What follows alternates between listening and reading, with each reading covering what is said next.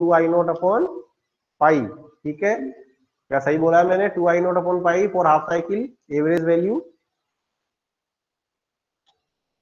तो Hardik Singh Hada yes Divanshi saying right okay फिर आया था बहुत important RMS value root mean square yes two I naught upon pi मैंने बोला है, वर्षा गुड वर्षा भी सही बात है. Two I naught upon pi ठीक है? Two I naught upon pi इसकी वैल्यू होती है, लेकिन सॉरी मैं क्या बोल रहा था? आरएमएस वैल्यू आरएमएस वैल्यू उसकी होती है रूट मीन स्क्वायर वैल्यू अपन बोलते हैं। एक पर्टिकुलर टाइम इंटरवल में उसकी पहले, अपन पहले स्क्वायर कर देते हैं इंस्टेंटेनियस वैल्यू का, फिर उस पर्टिकुलर टाइम इंटरवल के लिए अपन टोटल उसका लेके एवरेज लेके और फिर लास्ट अंडर रूट लेके तो हमारे पास आया था V naught by root two I naught by root two हम्म आ रहा है। I naught by root two V naught by root two ठीक है? एक दो बच्चे एक बार माइक ऑन करके बोलिए, उनका वॉइस आई थिंक मुझे आ रहा है। हाँ दिवांशी का वॉइस आ रहा है ना कि दिवांशी ने बोला था कुछ। ठीक है। Okay RMS value are the most important value because यही सर्किट में हीट लॉस और पावर लॉस के लिए रेस्पॉन्सिबल होती है। उसके बाद फिर हमने बताया था various types of electric circuit हमने ये बताना है कि हर अलग अलग सर्किट में वोल्टेज और करंट के बीच का जो फ़ेज़ होता है वो किस तरह से वेरी करता है या चेंज होता है, इसमें सबसे पहले हमने बताया था रेजिस्टिव सर्किट तो रेजिस्टिव सर्किट में मैंने बताया था कि इन रेजिस्टिव सर्किट, वोल्टेज और करंट जो होते हैं वो सेम फ़ेज़ में होते हैं। सेम फ़ेज़ में होने का मतलब है कि एक तो उनकी इक्वेशन में जो दोनों का एंगल है वो सेम रहेगा ओमेगा टी और इसका दूसरा मतलब यह है कि जिस इंस्टेंट पे वोल्टेज मैक्सिमम होगी करंट भी उसी टाइम मैक्सिमम होगी, यानी दोनों का बिहेवियर एकदम साइमल्टेनियसली चेंज होगा। That is called same phase फिर हमने आपको इंडक्टर सर्किट भी पढ़ा दिया है। Yes Jidesh you are right फिर हमने आपको इंडक्टर सर्किट भी पढ़ा दिया था कि इंडक्टर सर्किट में एक back EMF induced EMF produce हो जाने के कारण यहाँ पर वोल्टेज और करंट सेम फ़ेज़ में नहीं रह पाती है। यदि हमारी voltage V naught sine omega T होती है तो हमारी करंट बनती है minus I naught cos omega T या फिर उसको हमने रिड्यूस कर दिया था I naught sine omega T minus five by two यानी कि वोल्टेज और करंट के बीच में एक फाइव बाई टू का फ़ेज़ डिफरेंस प्रोड्यूस हो जाता है। और यहाँ पर हमने बताया था inductive reactance XL equals to omega L that was the inductive reactance correct बच्चों? That we all discussed. Now i think uh, we have to start today capacitor circuit in AC ठीक है सभी बच्चे, ध्यान से पढ़े अब। Capacitor circuit. अब तक मैंने आपको एक रिकैप बता दिया है। क्योंकि हम बहुत दिनों बाद मिले बच्चों तो एक रिकैप थोड़ा मैं मानता था कि आपको बता दूँ। अब आप जुड़ जाइए आज के टॉपिक के साथ, कैपेसिटर सर्किट इन एसी मतलब हमने क्या किया? एसी के साथ एक कैपेसिटर को कनेक्ट कर दिया। कैपेसिटर आपको चैप्टर नंबर टू में बताया गया था इलेक्ट्रोस्टैटिक पोटेंशियल और कैपेसिटेंस जिसमें आपको बताया गया था कि कैपेसिटर एक इलेक्ट्रोस्टैटिक डिवाइस होता है और इसकी प्लेट्स के बीच में इलेक्ट्रोस्टैटिक एनर्जी स्टोर होती है और इलेक्ट्रोस्टैटिक एनर्जी स्टोर करने के कारण ये आपका एक तरह से एनर्जी सोर्स सोर्स डिवाइस की तरह भी काम स्टोरेज डिवाइस की तरह भी काम करता है। अब हम ये पढ़ना चाहते हैं कि एसी को, हम एक एसी सोर्स को कैपेसिटर से यदि कनेक्ट कर दें बच्चों तो उसमें वोल्टेज और करंट पे क्या इफ़ेक्ट होता है, उनके फ़ेज़ डिफरेंस पे क्या इफ़ेक्ट पड़ता है, ये सारी बातें हमको स्टडी करनी है। तो let's say capacitor having O sorry this is AC AC sources को हमने कनेक्ट कर दिया है। Let's V naught sine omega T correct बच्चों? अब क्या होगा? एसी में क्या होगा देखते हैं अब हमने एसी लगा दिया। एसी मतलब कैसे वेरिएशन हो रहा है? साइनोस्यूडियल लेके चल रहे हैं ये। यानी अपन देख रहे हैं किसी ज़ीरो से लेके टी बाई फोर में यहाँ पे आपकी वोल्टेज क्या हो रही है? मैक्सिमम हो रही है। तो वोल्टेज आपकी इसमें क्या हो रही है? मैक्सिमम हो रही है। मतलब आपका कैपेसिटर क्या हो रहा है? चार्ज हो रहा है। और कैपेसिटर जैसे जैसे फुली चार्ज हो जाएगा तो करंट क्या हो जाएगी? ज़ीरो हो जाएगी। भाई कैपेसिटर आपका फुली चार्ज हो जाएगा तो कैपेसिटर की प्लेट्स के बीच का पोटेंशियल इस पीक वोल्टेज के बराबर जब हो जाएगा तो आपका करंट क्या हो जाएगी? इसमें ज़ीरो हो जाएगी। लेकिन अब प्रॉब्लम क्या आएगी कैपेसिटर आपका, यदि डीसी होता तो बस ये एक बार चार्ज हो जाता। करेक्ट और फिर करंट इसमें क्या हो जाती? ज़ीरो हो जाती। लेकिन यहाँ पर क्या है? आई थिंक मैंने थोड़ा नीचे लिख दिया है। आई थिंक ये ग्राफ विजिबल नहीं होगा आपको। इसको मैं थोड़ा ऊपर लिख देता हूँ। कोई बात नहीं। ग्राफ आई थिंक विजिबल नहीं है। अब आई थिंक ग्राफ विजिबल है आपको यस तो मैं ये कह रहा था बच्चों की ज़ीरो से लेके टी बाई फोर तक जब वोल्टेज आपकी ज़ीरो से वी नोट तक चेंज हो रही है तो उस कंडीशन में आपका यहाँ पे वोल्टेज इंक्रीज हो रहा है। और कैपेसिटर एक पर्टिकुलर इंस्टेंट पे क्या हो जाएगा? फुली चार्ज हो जाएगा। लेकिन अब क्या हो रहा है कि ये वोल्टेज वी नोट पे तो फिक्स नहीं है। अब ये वोल्टेज आपकी वी नोट से वापिस ज़ीरो की तरफ़ टेंड कर रही है। यानी कि कैपेसिटर क्या हो रहा है? डिस्चार्ज हो रहा है। और कैपेसिटर डिस्चार्ज हो रहा है तो क्या होगा? यहाँ पे करंट फ्लो होगी सर्किट में। यानी कि अपन Pragya Amrawat you are late why you are late you should not be late time पे आइए। देखिए ऑनलाइन सिस्टम में आप लोग घर पे बैठे हैं। हो सकता है वो नेटवर्क इश्यू रहा हो इसके साथ, लेकिन फिर भी आप लोग कोशिश कीजिए कि टाइम पे आए। ठीक है ना? सेल्फ डिसिप्लिन बनिए self discipline sorry sir net issue okay बेटा। ठीक है, कोई बात नहीं। तो मैं कह रहा था बच्चों की एसी सर्किट में जब कैपेसिटर होता है तो ऐसा नहीं होता है कि वो एक बार चार्ज होके बस फिक्स हो गया। वो उसका फिर चार्जिंग के बाद डिस्चार्जिंग होता है। फिर चार्जिंग होता है, फिर डिस्चार्जिंग होता है। यानी कि एसी सर्किट में कैपेसिटर का चार्जिंग डिस्चार्जिंग प्रोसेस चलता रहता है, जिसके कारण सर्किट में करंट भी आपकी ज़ीरो मैक्सिमम ज़ीरो मैक्सिमम होती रहती है। तो अब अपन को ये देखना है कि कैपेसिटर की इस प्रोसेसिंग के कारण, कौन सी प्रोसेसिंग चार्जिंग डिस्चार्जिंग की प्रोसेसिंग के कारण इसके अंदर जो वोल्टेज और करंट है, उनके बीच का रिलेशनशिप क्या रहेगा? उनका फ़ेज़ रिलेशनशिप क्या रहेगा? तो यहाँ पे भी अपन स्टार्ट करते हैं एक्सप्रेशन ऑफ़ करंट से। कहा से स्टार्ट करते हैं? यहाँ पे अपन एक्सप्रेशन ऑफ़ करंट ओके बच्चों? तो देखिए सपोज़ अभी मानिए चलते हैं let at any instant let at any instant क्योंकि यहाँ पे हमें इंस्टेंट पे लेना पड़ेगा, क्योंकि यहाँ पे चार्ज आपका फिक्स नहीं है। चार्ज आपका वेरी कर रहा है। क्योंकि देखिए वोल्टेज आपकी वेरी कर रही है तो कैपेसिटर पे चार्ज भी कांस्टेंट नहीं है। वो टाइम के रेस्पेक्ट में क्या कर रहा है वेरी कर रहा है। तो हमने एक इंस्टेंट ले लिया कि उस इंस्टेंट पे let at an instant charge on capacitor plate plates नहीं लिखेंगे, दोनों प्लेट पे नेट चार्ज ज़ीरो होगा तो एक प्लेट का चार्ज काउंट होता है मैग्नीट्यूड में। क्योंकि ये तो आपको पता ही होगा कि जितना मैग्नीट्यूड इतना होता है, उतना ही नेगेटिव मैग्नीट्यूड दूसरी वाली प्लेट का होता है। तो capacitor plate is let us say Q then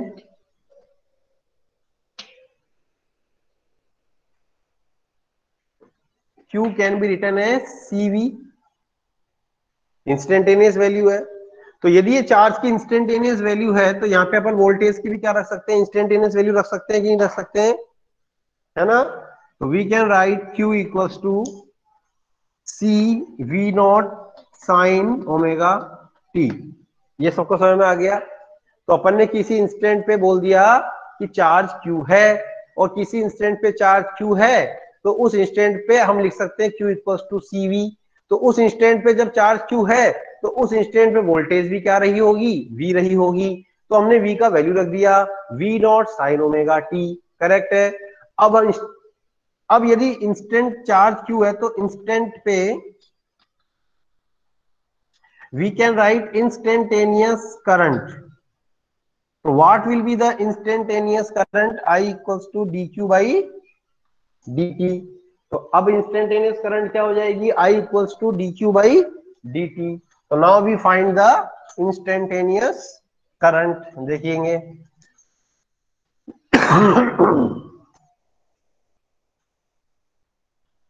तो देखेंगे जरा। तो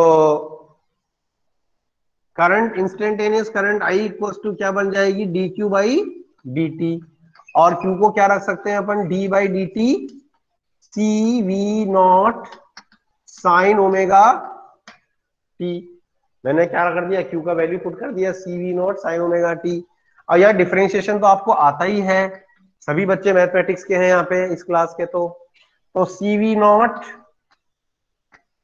omega cos omega t यही बनेगा ना देखो इसका डिफरेंशिएशन तो C V naught omega cos omega t we can write तो d by d t C V naught sine omega t and the cv naught outside then i equals to we can write omega c v naught cos omega t so this is the equation of current so what we have got equation of current in the capacitor circuit omega c cos omega t correct bachcho yes now cos का maximum value क्या होता है यहाँ पे one तो cos का maximum value one होने का मतलब ओमेगा सी वी नॉट क्या बन गया आपका? आई नॉट बन गया।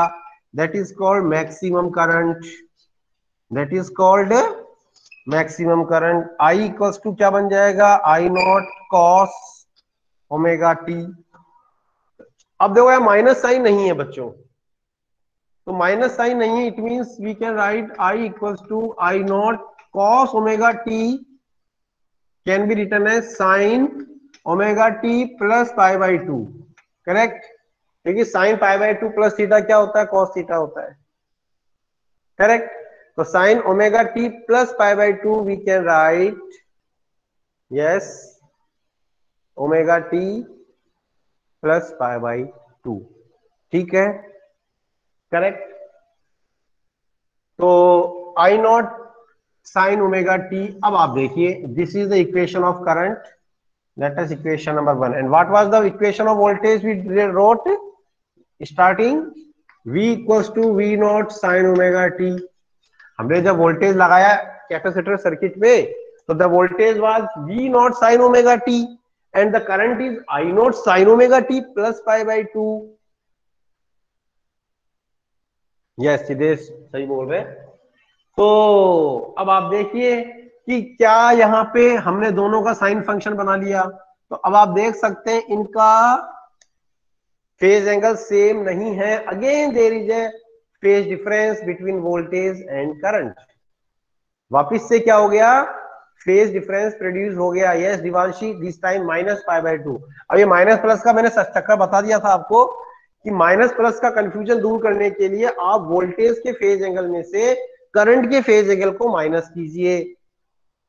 समझ में आ रही बात, क्योंकि कारण क्या बताया था? वोल्टेज कॉज होता है और करंट उसका इफ़ेक्ट होता है। हम जब भी सर्किट में सेटअप करते हैं तो पहले हमें वोल्टेज लगानी पड़ती है और उसके बाद उसका इफ़ेक्ट के फॉर्म में करंट आती है। पहले करंट नहीं होती है। Without voltage no current is possible ये बेसिक बात है। तो इसीलिए हम जब बात करते हैं फ़ेज़ डिफरेंस की तो हम लिखते हैं वी आई फ़ेज़ डिफरेंस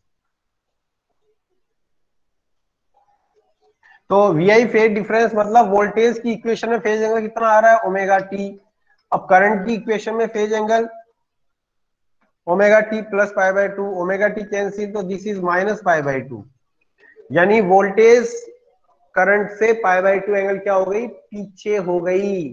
तो क्या कंक्लूजन निकला? Voltage lags by pi by two phase angle voltage lags by pi by two phase angle with current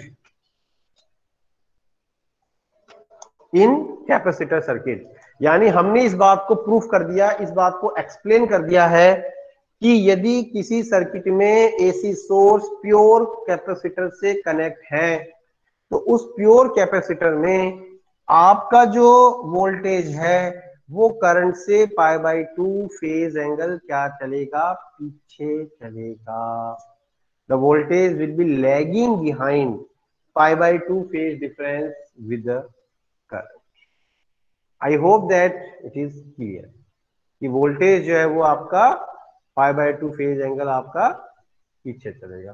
तो ठीक है बच्चों तो ये आपका कंसेप्ट हो गया। ठीक है, अब इसमें देखिए, इसमें जैसा अपन ने इंडक्टर सर्किट में बताया था obstruction in the current by inductor कि अपनी इंडक्टिव प्रॉपर्टी के कारण वो इंडक्टर कितना ऑब्स्ट्रक्शन दे रहा है सर्किट में, जिसको अपन ने नाम दिया था, आपको याद होगा इंडक्टिव रिएक्टेंस है कि नहीं है? That was the inductive reactance but you sorry मैं थोड़ा इंटरप्ट करूँगा। Today was only 28 students are there in the class why so very less.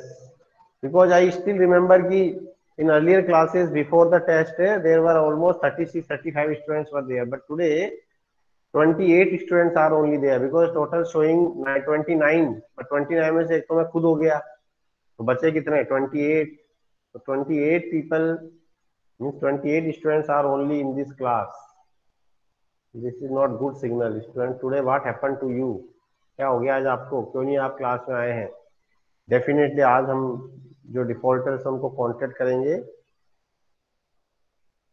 ठीक है आंचल आकृति, अमन, अंजलि, शुरू के सारे बच्चे आए हैं। नेट इशू क्यों है भैया? नेट तो आ रहा है। नेट इशू तो यार मैं नहीं मानता। नेट इशू देखते मल्लिका, सोमिल तो है वैसे, उदेश भी है, वर्षा है, उत्कर्ष। यश नहीं है, उत्कर्ष श्रीवास्तव नहीं है। कई सारे बच्चे नहीं है, छोड़ो। लेकिन ऐसा नहीं होना चाहिए ना।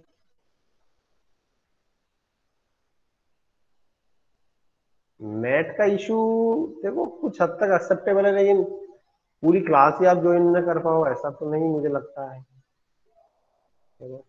इस पे भी हम देखेंगे क्या प्रॉब्लम आ रही है तो मैं कह रहा था, जिस तरह से इंडक्टर जो है, अब नवनीत अब आया देखो ये नवनीत, क्या हो गया था What happened? You are coming at 10:25. What happened with you? ऐसा कब से हूँ मैं तो प्रजेंट सर तब बोल रहे हो। अच्छा ठीक है।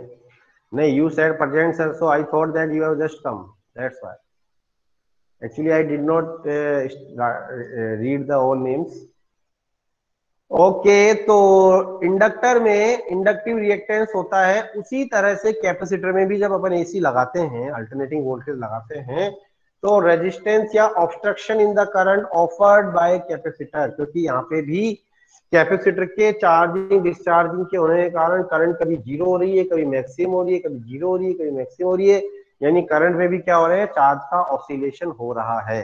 तो यहाँ पे हम देख सकते हैं, हमने आई नोट किसको माना था? ओमेगा सी वी नॉट को। तो वोल्टेज करंट के रेशियो को अपन क्या बोलते हैं?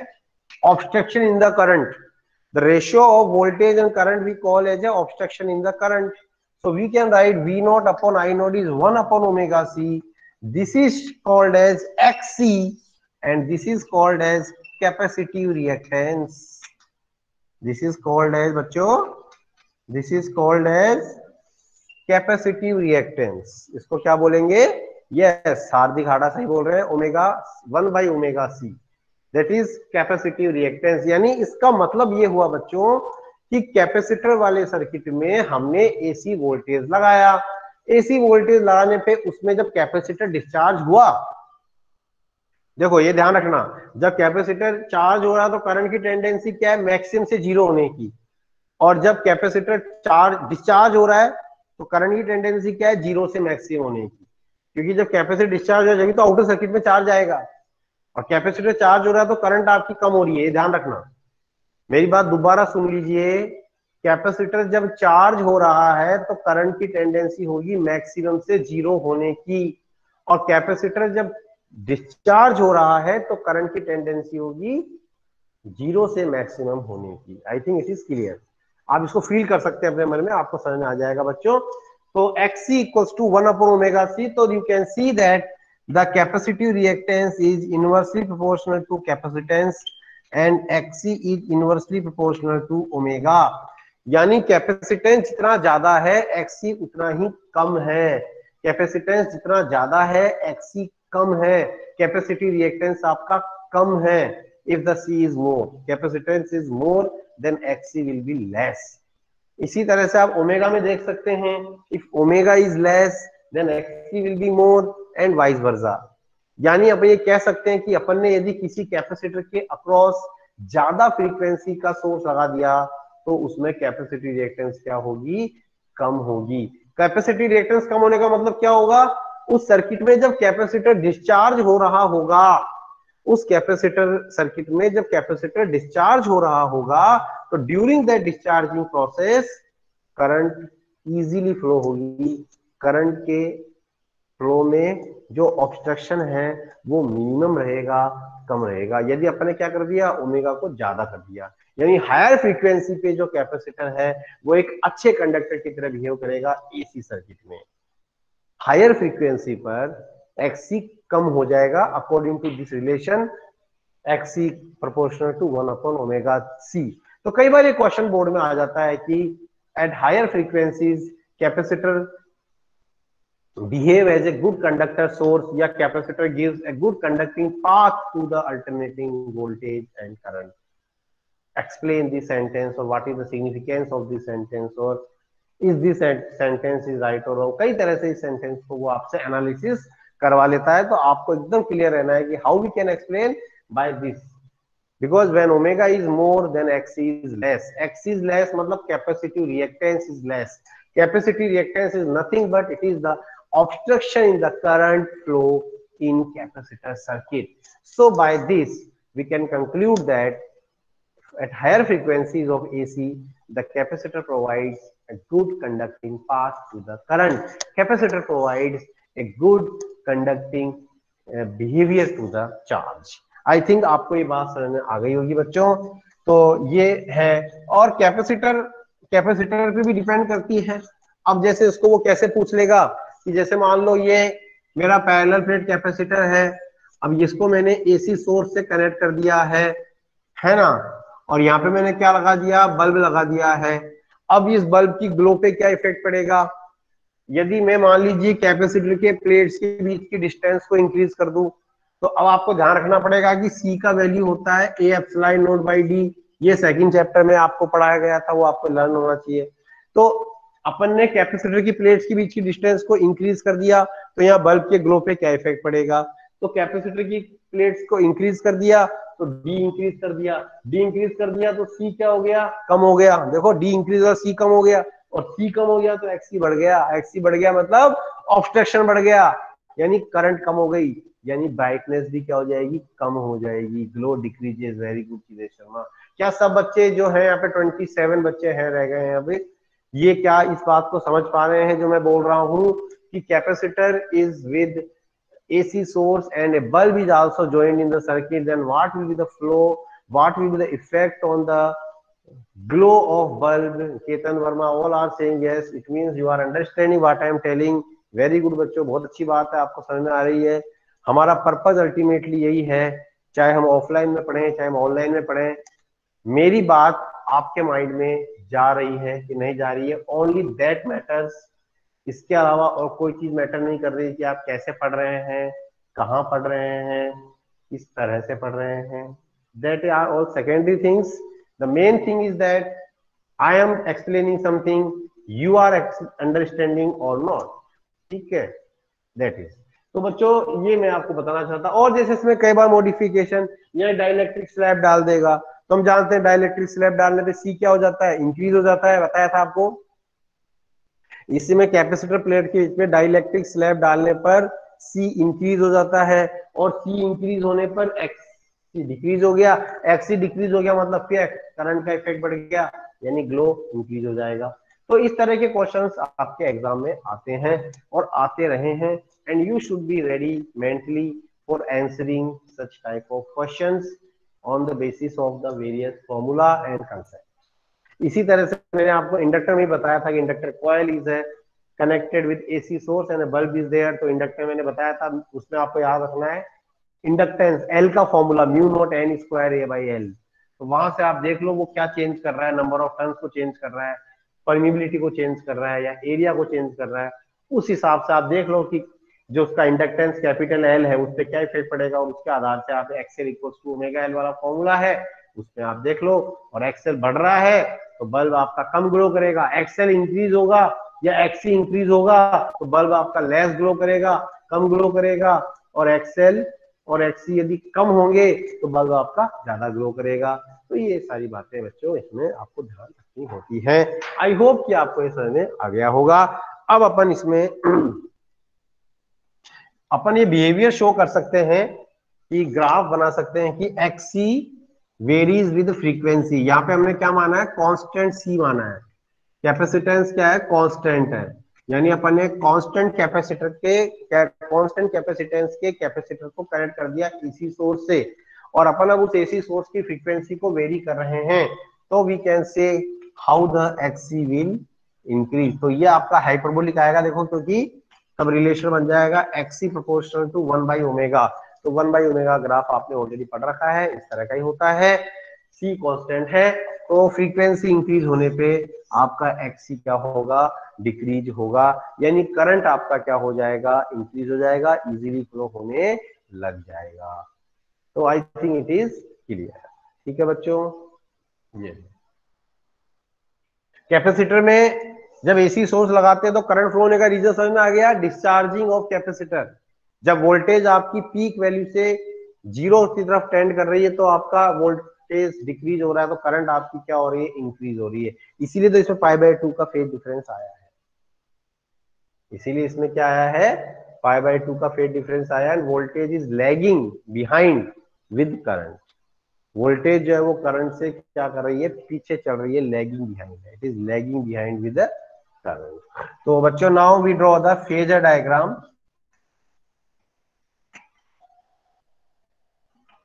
we draw the now phasor diagram what is the phasor diagram मैं ऑलरेडी आपको दो फेजर डायग्राम बना चुका हूँ। रेजिस्टिव सर्किट और इंडक्टर सर्किट में ऑलरेडी फेजर डायग्राम्स बना चुके हैं। तो I don't think there should be any problem to you all people phasor diagram मतलब मैं फिर बोल दूँ कि किसी भी सर्किट में वोल्टेज और करंट के बीच में फ़ेज़ डिफरेंस को शो करने वाला पिक्टोरियल या एक डायग्राम या एक डायग्रामेटिक रिप्रेजेंटेशन जिसमें उसको देखते ही पता लग जाए कि वोल्टेज और करंट के बीच में क्या फ़ेज़ एंगल है।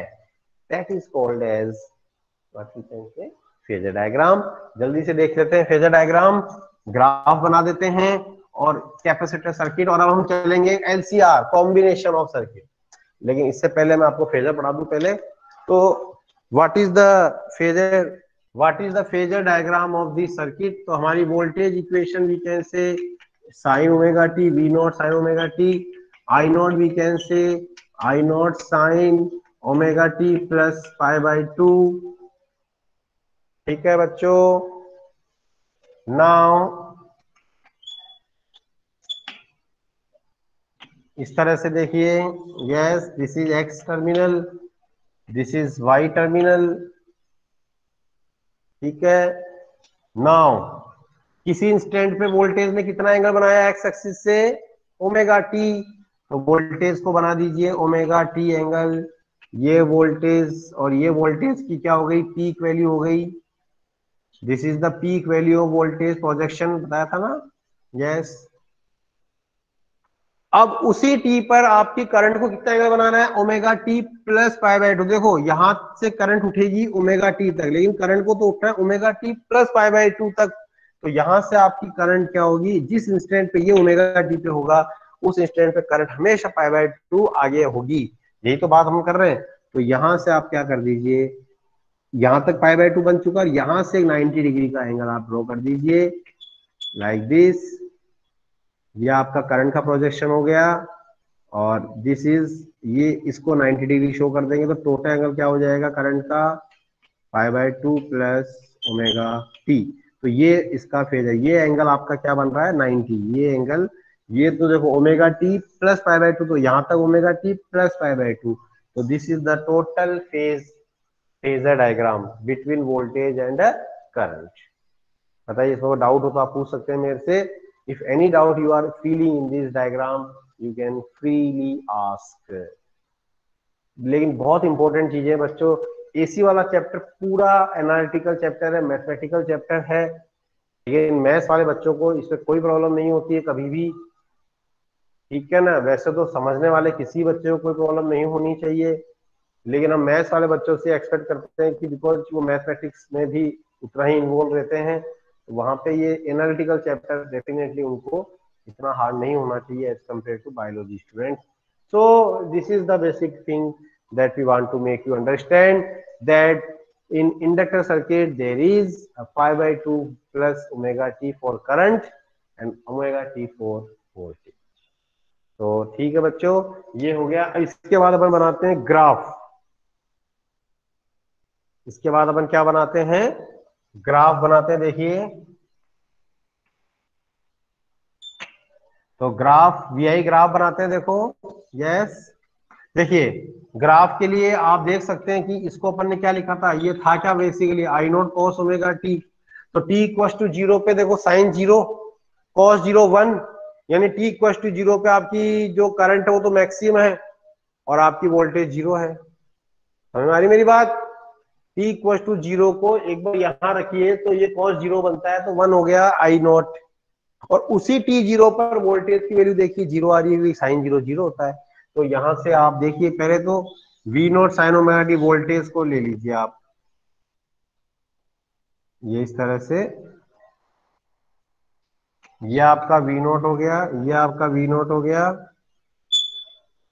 लाइक like दिस है ना? ये तो voltage V naught sine omega t अब देखो, जब आपकी करंट ज़ीरो है तो वोल्टेज आपकी पॉजिटिव में ज़ीरो है तो ये टी कोस्ट ज़ीरो पे करंट को शो कर दो। फिर ये जब मैक्सिमम होगी तो करंट आपकी ज़ीरो हो जाएगी। ये देखो, मैं यहाँ पे थोड़ा सा आपको डिफरेंट चौक से दिखा देता हूँ तो you will clearly understand more better way more clear way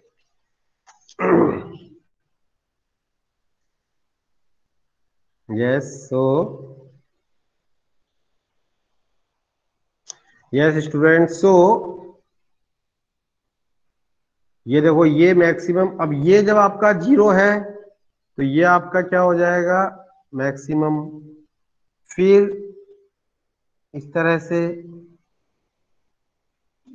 फिर ये नेगेटिव मैक्सिमम तो ये ज़ीरो और फिर ये, जब ये वोल्टेज ज़ीरो तो ये फिर आपकी मैक्सिमम तो ये जो आपको दिख रहा है ऑरेंज कलर में दैट इज़ बेसिकली करंट और ये आपको जो दिख रहा है ब्लू कलर में that is I that is voltage sorry ये तो दिस इज़ बेसिकली एक गड़बड़ हो गई है, थोड़ी सी गड़बड़ हुई है यहाँ पे।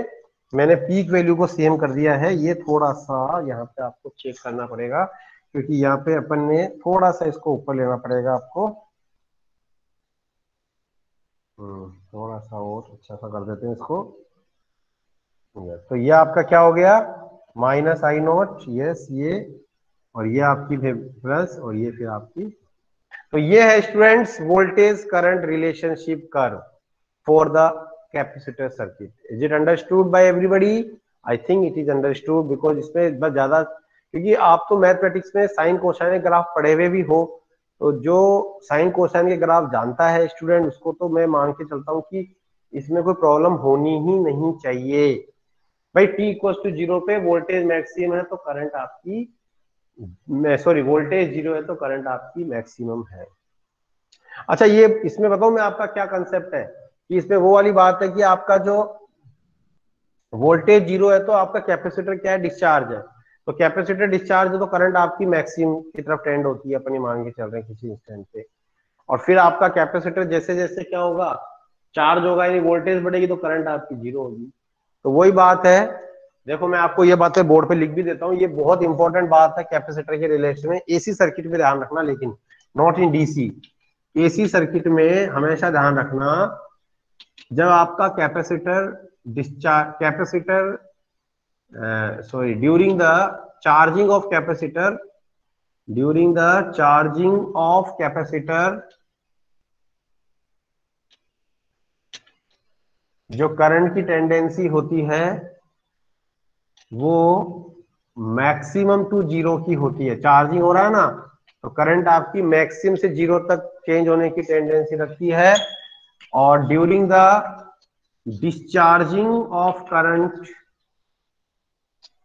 during the discharging of capacitor, sorry, during the discharging of capacitor, जो करंट की टेंडेंसी होती है, वो ज़ीरो से मैक्सिमम होती है। तो जो करंट की टेंडेंसी होती है, वो ज़ीरो से मैक्सिमम होने की होती है। तो I hope that it is clear तो सभी बच्चों को ये बात समझ में आ गई है। कि during the charging and discharging of capacitor what is the pattern of changing the current what is the pattern of changing the current current के पैटर्न क्या है चेंज होने का? That you always repeating your mind तो student this is all about over capacitor circuit ठीक है? Voltage lags पीछे चलती है with current with pi by two angle okay तो ये है. Now now we come to the pairing combination of the component अब एसी सर्किट में क्या करेंगे हम? कंपोनेंट्स को कंबाइन कर देंगे. अब कॉम्बिनेशन में क्या क्या पॉसिबिलिटी हो सकती है? आर के साथ एल कंबाइन हो जाएगा तो हम बोल देंगे R L circuit resistance inductive circuit R के साथ सी कंबाइन हो जाएगा तो हम बोलेंगे R C circuit resistance capacitor circuit R के साथ सॉरी एल सी आर तीनों को एक साथ सीरीज़ में कन्वर्ट कर देंगे, पहले में भी कर सकते हैं, लेकिन हमारे सिलेबस में L C R series circuit का ही एनालिसिस बताया गया है। फिर एल को सी के साथ कर सकते हैं तो एक एल सी सर्किट बन जाता है। There are so many possibilities of pairing और ग्रुपिंग ऑफ़ द कंपोनेंट्स कि अभी तक हम बात कर रहे थे कि जो हमारा कैपेसिटर वो अकेला कैपेसिटर इंडक्टर से जुड़ा हुआ अकेला वो रेजिस्टेंस अकेला वो कैपेसिटर अब हम पेयरिंग कर देंगे। तो पेयरिंग में देखो, हम लोग कैसे बताते हैं? हम आपको पहले एलसीआर सर्किट से स्टार्ट करते हैं। हम पहले ही ये मान के चलते हैं कि all the three are basically connected in series with AC voltage source उसके बाद हम फिर क्या कर देंगे? उसमें से सी को मिस कर देंगे तो आरएल सर्किट के फॉर्मूले आ जाएँगे। फिर हम एल को मिस कर देंगे मतलब एल वाला टर्म हटा देंगे तो आर से सर्किट के फॉर्मूले आ जाएँगे। तो फिर हमको क्या करना पड़ेगा? तीनों सर्किट को अलग अलग डिस्क्राइब करने की ज़रूरत नहीं पड़ेगी। मतलब मैं ये मान के चल रहा हूँ कि हम एलसीआर सर्किट से ही आरएल और आरसी ये दोनों सर्किट हम एक्सप्लेन कर पाएँगे डिराइव कर पाएँगे और उसमें इजीनेस ये रहेगी कि आपको केवल एलसीआर सर्किट के ही फॉर्मूले याद रखने पड़ेंगे। आरएल और आरसी के अलग से लर्न करने की ज़रूरत नहीं है। बस जब भी आरएल आए सी वाला टर्म गायब कर देंगे। जब भी आरसी आएगा एल वाला टर्म गायब कर देंगे। आरएल और आरसी के फॉर्मूले हमारे पास रेडी रहेंगे। आई थिंक मैं जो बोल रहा हूँ, आपको समझ में आ रहा होगा मैं क्या बोल रहा हूँ। हम एलसीआर सर्किट पढ़ेंगे। स्टार्ट कहाँ से करेंगे? एलसीआर सीरीज़ सर्किट तो now we will start LCR series circuit मैं थोड़ा सा इंट्रोडक्शन दे देता हूँ। कंप्लीट तो नहीं हो पाएगा आज की क्लास में ये सर्किट लेकिन मैं इसको थोड़ा इंट्रोड्यूस करा देता हूँ आपको। थोड़ा टाइम हमारे पास फाइव मिनट्स का। ठीक है ना? तो I introduce you this LCR series circuit series हमारे कोर्स में कौन सा बताया गया है बच्चों? सीरीज़ कॉम्बिनेशन वाला बताया गया है। सो एलसीआर सीरीज़ सर्किट देखिए, ये हमारा क्या हो गया? इंडक्टर दैट इज़ एल फिर capacitor that is C and then resistance that is R these three components are connected in series with AC source और ये हमारा नेट वोल्टेज है V naught sine omega t ये हमने क्या कर दिया? Voltage V naught sine omega t लगा दी। अब यहाँ पे आपने पढ़ा है कि कोई भी इलेक्ट्रिकल कंपोनेंट हो, चाहे वो कैपेसिटर हो कैपेसिटर हम चार्ज बोलते हैं रेजिस्टेंस सेल हो रेजिस्टेंस हो तो करंट क्या रहती है? सेम रहती है। तो पहली बात, इन तीनों में करंट का वैल्यू क्या रहेगा? किसी भी इंस्टेंट पे आई रहेगा। आई क्या रहेगा? तीनों में सेम रहेगा। Correct I will be same I अलग अलग नहीं होगा। आई कब अलग होगा? यदि ये पैरल में कनेक्ट हो जाते तो। If these were connected in parallel then definitely I will be different but now we are studying series combination of these three components लेकिन वोल्टेज तो डिफरेंट डिफरेंट होगी क्योंकि सीरीज़ में वोल्टेज अलग अलग होती है। तो यहाँ पे हम ये मान के चल रहे हैं कि current will be same current I will be same for all three components and voltage VL, VC, VR यानी हमने मान लिया कि इंडक्टर पे वोल्टेज VL है कैपेसिटर पे वोल्टेज VC है और रेजिस्टेंस पे वोल्टेज क्या है? वी आर अब देखो क्या होगा। ये VL और VCR का जो बिहेवियर है वो थोड़ा सा क्या है? एक दूसरे के रेस्पेक्ट में अलग अलग है। इसीलिए हम यहाँ पे क्या करते हैं? वीएल वीसी और वीआर को डायरेक्टली ऐड नहीं कर सकते एल्जेब्रिकली समझने की कोशिश करना तो ये डिस्कशन बहुत इंपॉर्टेंट है इसमें, कि हम वीएल वीआर वीसी और वीआर को सिंपली ऐड नहीं कर सकते, क्योंकि ये इस सर्किट के अंदर एक दूसरे के रेस्पेक्ट में एक ही तरीके से चेंज नहीं हो रहे हैं, एक ही पैटर्न से चेंज नहीं हो रहे हैं। They are not changing with different same pattern क्यों नहीं है? क्योंकि अब देखो, सुनो मेरी बात। सबसे पहले अपन बात करते हैं जैसे कि हमारा रेजिस्टेंस सर्किट है वोल्टेज वी आर तो उसमें क्या होता है? करंट और वोल्टेज क्या होती है? एक ही फ़ेज़ में होती है। वोल्टेज पहला सर्किट तो वहाँ पे अपन क्या देख सकते हैं कि जैसे हमने मान लिए करंट के लाइन है। दिस इज़ करंट की लाइन तो करंट की लाइन में जो वोल्टेज है वो सेम चलती है। तो वी आर क्या होगा? रेजिस्टेंस अक्रॉस वोल्टेज और रेजिस्टेंस अक्रॉस वोल्टेज करंट के साथ ही रहता है। फ़र्स्ट सर्किट में पढ़ाया था। आई थिंक आपको समझ में आ रही है?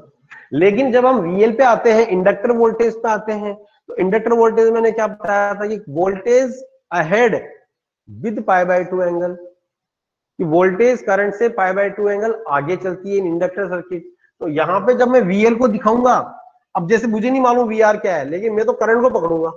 अब करंट से मुझे क्या करूँगा वीएल को पाई बाय टू अहेड दिखा दूँगा। तो ऑटोमेटिकली वो वीएल वीआर से भी क्या हो गया? पाई बाय टू अहेड हो गया।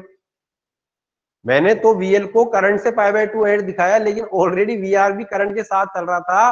तो इंडक्टर वोल्टेज करंट से पाई बाय टू अहेड हो गया। फिर थर्ड वोल्टेज आती है वीसी दिस इज़ लैगिंग यहाँ पे करंट वोल्टेज लैग कर रही है। अभी अभी तो अभी डिस्कस किया आज ही हमने। तो यहाँ पे we will write VC assuming that VL is greater than VC थोड़ा हमको मानना पड़ेगा। अब आप देखिए वीएल इधर जा रहा है वीसी इधर जा रहा है वीआर तो इनकी जो पैटर्न है चेंज होने का, वो डिफरेंट है। ये एक सेम फ़ेज़ में तरीके से चेंज नहीं हो रहा है।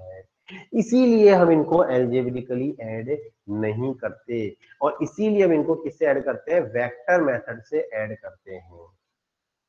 अब यहाँ पे बहुत सारे बच्चे बोलते हैं, सर, बोले, ये तो स्केलर बताए थे हमने तो वोल्टेज पढ़े, आज से स्केलर होती बिल्कुल वोल्टेज स्केलर तो आप ही मान के चले वोल्टेज को नहीं जोड़ रहे वोल्टेज का जो डिस्प्लेसमेंट हो रहा है उस सर्किट में, उस डिस्प्लेसमेंट को वेक्टर मानते हुए चल रहे हैं। और उस डिस्प्लेसमेंट का फ़ेज़ एंगल क्या है? एक दूसरे के साथ डिफरेंट डिफरेंट है। उसको हम मान के चल रहे हैं। बच्चों मैं आज की क्लास को यही खत्म करूँगा। ये डिस्कशन डेफिनेटली हमारा अधूरा रहा है। आ, मैंने पहले ही बोल दिया था मैं इसको केवल इंट्रोड्यूस कराऊँगा लेकिन हम डिटेल से कल डिस्कस करेंगे बच्चों क्योंकि मेरे हमारी जो घड़ी है हमारी जो समय है वो हमें अब बोल रहा है कि इस क्लास को खत्म किया जाए बिकॉज़ नेक्स्ट क्लास का टाइम हो गया है। आपका भी आपका तो इलेवन टू ट्वेल्व फ्री है लेकिन other classes will be there in this room so student bye bye आप इसको थोड़ा रिवाइज कीजिए कैपेसिटर सर्किट को थोड़ा सा रिवाइज कीजिए इसको पूरा और डेफिनेटली आई होप कि कल की क्लास में 43 या 40 के तक बच्चे होने चाहिए। आज बहुत कम बच्चे थे। I am slightly disappointed with the less student but not disappointed slightly disappointed but हम डेफिनेटली उन बच्चों को पूछेंगे, कहाँ प्रॉब्लम आई है? उनको क्यों और नहीं आए वो लोग? Okay students so take care school कब से शुरू होंगे? बताएँगे, जब भी शुरू होंगे डोंट वेरी ठीक है ना? चलिए। Khushi Sukhwal you just send your detail I have send you message on WhatsApp you just send your detail for S T S C form so that I can timely fill your form because today is the last date and after that we won't be able to entertain much students तो ये वाली बात है। Okay students सो